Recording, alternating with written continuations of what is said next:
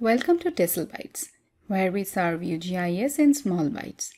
Today we'll be covering ArcGIS Pro Hydrology Part 2 Delineating Watershed. In this video, I will discuss how to delineate a watershed using two tools from the Hydrology toolbox, Snap Pour Point and Watershed. In a previous video, we have discussed the flow accumulation and the flow direction tool from the same toolbox and here we'll be using the results from that exercise. In this exercise, we are using the results derived from this DEM data. However, we'll be using a combination of this hillshade and the flow accumulation data for a better view of the landscape. These yellow dotted lines are actually the flow accumulation data. For the watershed delineation, we will start with the Snap Pour Point tool. In ArcGIS Pro, we can delineate the total area flowing into a given outlet, also called a Pour Point, based on a digital elevation model. As the DEM is an array of evenly spaced grid cells with elevation values, we can calculate the direction of flow down a slope and how many cells flow into each cell using the flow direction and flow accumulation tools. In our map, we already have placed two point features on both sides of this hill.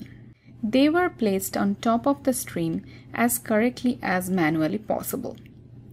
The snap Pour Point command snaps these manual points to the nearest area of high flow accumulation.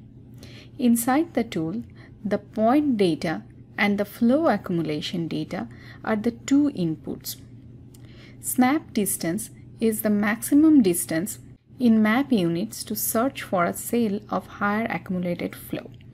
You can keep it zero if you do not know the distance. And here is our output. If we zoom in, we will be able to see that the cell is perfectly sitting on top of this flow accumulation data. Next, we will be discussing the watershed tool. A watershed is the upslope area that contributes flow. This tool performs the watershed delineation based on the snap point.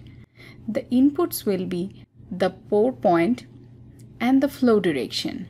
The value of each watershed will be taken from the value of the source in the pour point data. Watershed tool only supports the D8 type flow direction raster, which we used to determine this flow direction data previously. This pour point field is optional. It is used to assign values to the pour point locations. This tool might take a few minutes to run. And this is our output.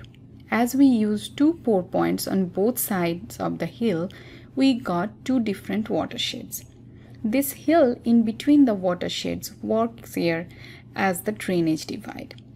To recap, we discussed how the snap pour and watershed tools work, how they can be used to delineate a watershed along with the flow direction and flow accumulation data. I think this is a great stopping point. This has been Tessel Bytes, where we serve you GIS in small bites. Thank you for watching and please be sure to visit us at www.tessellations.us. Also, subscribe and ring that bell.